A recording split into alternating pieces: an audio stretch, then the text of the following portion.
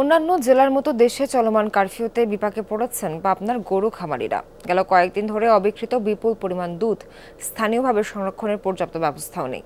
তাই বেশিরভাগ নষ্ট, হচ্ছে নষ্ট। অন্যদিকে বন্যায় বিস্তীর্ণ জমি তলিয়ে গেছে। সংকট দেখা দিয়েছে গোখাদ্যেরও। দেশে গরুর দুধের মোট চাহিদার বড় একটি অংশই আসে পাবনা থেকে। জেলায় প্রতিদিনই কয়েক হাজার লিটার দুধ উৎপাদন হয়। বিভিন্ন কোম্পানির পাশাপাশি দেশের বিভিন্ন জেলা থেকে পাইকাররাও এখানে আসেন দুধ কিনতে।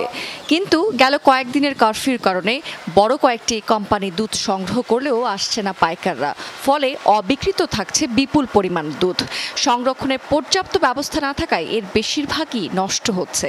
দুধ নিয়ে খুব নাজেহাল অবস্থায় আছি। এমনি তো আমাদের এখানে দুধের দাম কম। পঁয়ত্রিশ টাকা লিটার দুধ নিয়ে যায়।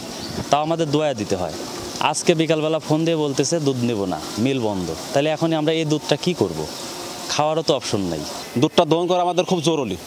গাভীকে সুস্থ রাখতে হলে আমরা যদি গাভীতে লস না খেতে চাই তার দুধ দোয়াইতে হবে কিন্তু বাজার দুধ নিচ্ছে না। দুধ বিক্রি করে তো আমাদের আসলে খামারটা পরিচালনা করতে হয়। সেই দুধটাই চলতেছে না। মানে দুধ আসলে দহন করে মানে আসলে পানিতে ফেলে দেওয়া হচ্ছে। মানে বর্তমান পরিস্থিতির কারণে। এদিকে পরিবহন সংকটের কারণে বেড়ে গেছে গোখাদ্যের দাম পাশাপাশি গরু বিক্রি করেও নির্দিষ্ট স্থানে পাঠাতে পারছে না খামারিরা। এই পরিস্থিতিতে পথে বসার উপক্রম খামারিদের। এমনও দিন আছে সত্তর আশি কেজি দুধ। ফালা দেওয়া লাগে মানুষকে মাগনা দিয়ে দেওয়া লাগে। কি করো ভাই? ষাট টাকা পঁয়ষট্টি টাকা কেজি ভুসি কিনে আজ আমরা মনে করেন বিভ্রান্তির ভিতর রয়েছে। এই খ্যারের আটিটা আজ থেকে পনেরো দিন আগে তিন টাকা চল্লিশ পয়সা আমি কিনে গরু গাভীকে খাওয়াইছি।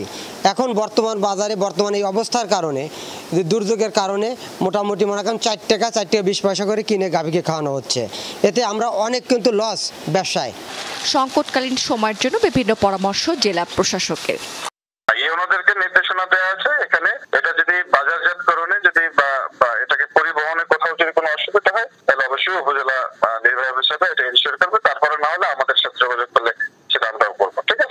প্রাণী সম্পদ অফিসের তথ্য অনুযায়ী জেলায় নিবন্ধিত এবং অনিবন্ধিত মিলিয়ে গরুর খামার রয়েছে তেরো হাজার।